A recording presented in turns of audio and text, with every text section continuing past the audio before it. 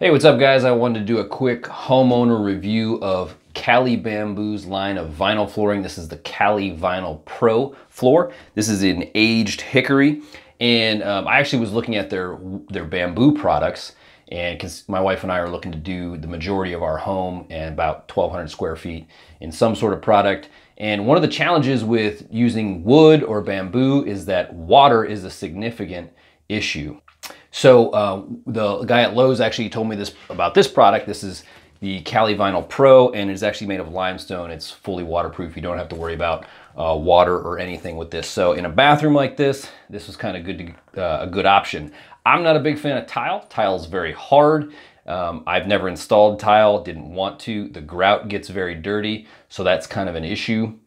Now, if you, um, shout out to my man, Brenton Ford at Cali Bamboo. I called them, asked a ton of questions, and then he sent me lots and lots of samples. And this is the Cali Vinyl Pro line. They also have a Plus line.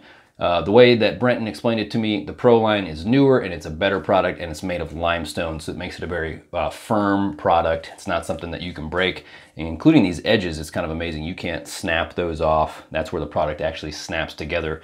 This is a floating floor. And the other thing that I liked about this product is it's a very green product.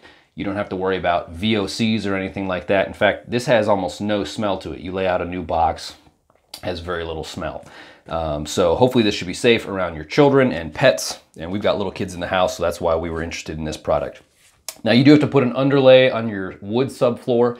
I use the Cali Complete product. Um, it looks like foil, it's pretty thin. You lay that out first and then you install your floor floating over top. Now, traditionally, I'm opposed to floating floors. I'm used to a lot of the older laminate floating floors where they felt very floaty, they looked cheap, kind of had a hollow feel to them.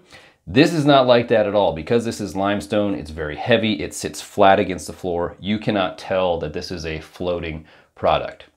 Now, how did the install go for me? I have never installed something like this before. I've done vinyl sticky tiles. Those are pretty easy. They're easy to uh, trim and things like that. But how did this go? Well, it was a lot harder than I thought. This is 23 square feet and it took me a long time. I can't even add it up. The challenge that I found uh, was when I first started out over here on my tub, my tub is actually not flat. It's kind of uh, rounded a little bit. So when I put my first piece up against that, my first long plank, I realized I was gonna have to do some trimming and trying to create a slight curve to the product I found to be very difficult because it is so rigid. Now maybe there's a tool that you could use to do that that I'm not aware of.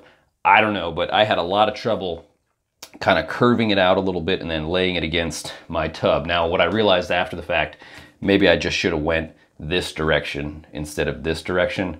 I don't know. This was my first attempt. I, I went lengthwise here.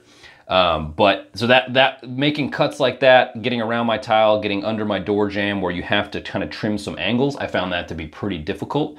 Now, when you get to the end of your row and you, you want to trim a little bit, you can score it with a utility knife and then snap. So that's pretty easy.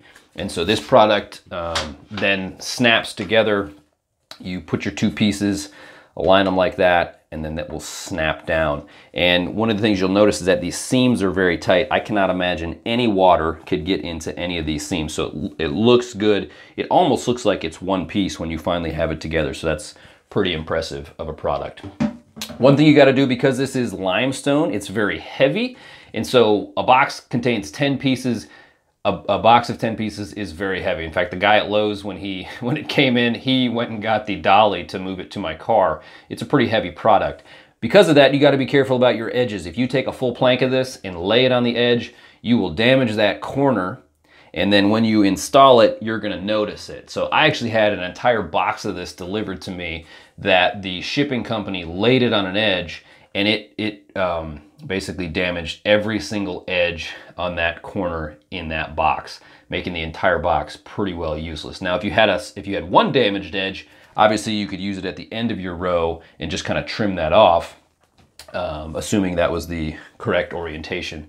But um, so be careful about the edges. Another uh, issue that I had, maybe you can see it here in my install, I made a mistake. I put the same piece really close to each other, and this is a small bathroom, and I didn't realize that till I was all done. This piece and this piece is actually the same. I really should have put this somewhere else and then you wouldn't see that the floor is not as varied. That's the only two identical pieces that I spotted and I stuck them kind of close together. So that was an oops on my fault. The final look and feel now that we're done, it looks awesome. It feels awesome. Um, it doesn't, it's not as hard as tile. It, because of that underlay, it has a softer feel, but it's still very firm. You cannot tell that it's floating at all. And then the overall cost, you can get a box of this for about 70 bucks, or maybe, or maybe you can find a deal, use a coupon or something. Uh, I had to buy two boxes, even though one box contains 23 square feet. This is a 22 square foot bathroom. Just didn't give me enough margin with the leftover pieces that you end up with, because every time you trim one, you probably can't use that piece somewhere else. And so I ended up having to buy two boxes, 140 bucks. The underlay comes with 100 square feet. That was about 60 bucks.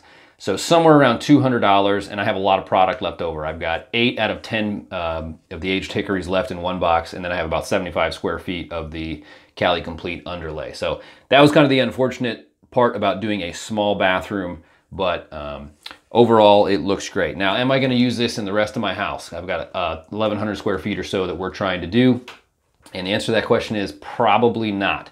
Because if you look at Cali Bamboo's website, check out the Cali Vinyl Pro, a lot of their designs I, I, found to be kind of modern. We're looking for something a little bit more traditional. I actually emailed them some suggestions of what we're looking for. If they come out with some new designs that are a little bit more traditional, then we're absolutely gonna use this product. Uh, do I wanna install 1,200 square feet by myself?